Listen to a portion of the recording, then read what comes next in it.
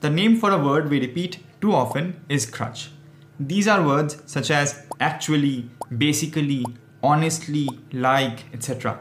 They don't add any value or meaning to the sentence. For example, if you say, I honestly